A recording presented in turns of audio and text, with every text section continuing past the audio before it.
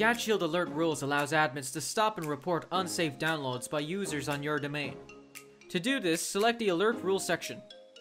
Here I'll add a rule for downloads. I'll name my rule exe and png blocked.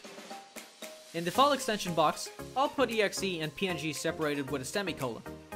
Checking the cancel delete download box will prevent the download from happening, and if it's already downloaded, it will be deleted. I can then apply these rules to a user, group, or OU. You can also exclude a user, group, or OU from this rule. In the end user action, you can pick what will happen if a user violates this rule.